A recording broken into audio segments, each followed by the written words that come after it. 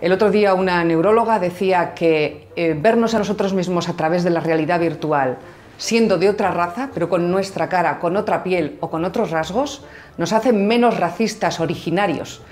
Y es una buena forma de vernos a nosotros mismos de otra manera.